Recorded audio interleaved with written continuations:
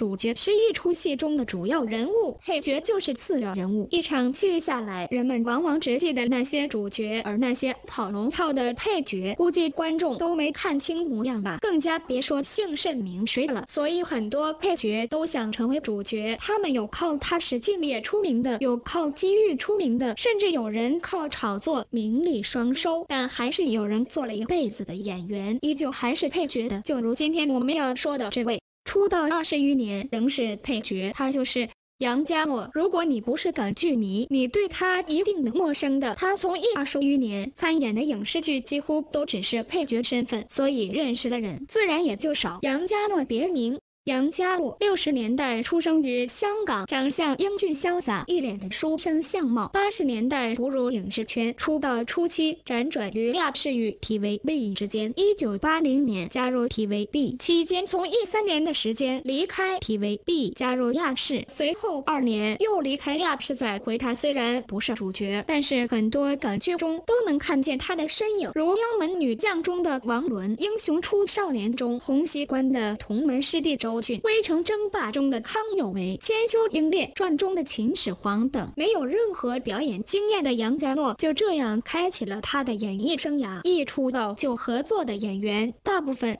都是当红演员，如汪明荃、冯宝宝、石修、王维等人。这时的他更加意识到自己的不足，勤奋刻苦，终于在出演《千秋英烈传》时小有名气。杨家洛在影视圈从艺只有二十余年，饰演的电影少之又少，只是在八十年代后期与九十年代参演过很多电视剧，就如《中华英雄之中华傲绝》中的罗汉，《九王夺位》中的袁中燕，《杏包青天》中的张龙，《九品芝麻官》中的。与有剑笑江湖中的苍木，尽管出演的作品不少，可是每部戏的戏份不多，但他还依旧坚持住。一九九八年的一部《我和僵尸有个约会》，从首播开始就广受观众的喜爱。也许是因为题材的新颖，故事的创新，在当时可是捧红了不少的演员。杨家诺在该剧中饰演林活动，一个被查出肝癌晚期的人，被医生告知只有几天的生命了。在这时，他在家家打。像撞到了欧阳佳佳，两人从此开始有了交集。可林国栋一心想当僵尸，佳佳却偏偏不咬他。事业上的他一直没有大红大紫过，而生活中的他也特别的不幸。四十一岁时被查出患上了末期肺癌和淋巴癌，经过化疗，病情得到控制，但半年后发现癌细胞扩散到了脑部。经过两年与病魔抗战的时间，在拍摄《上海传奇》时，在家中吐血，送医院院。的路途已经昏迷，刚到医院后被证实已经不治身亡，去世时间为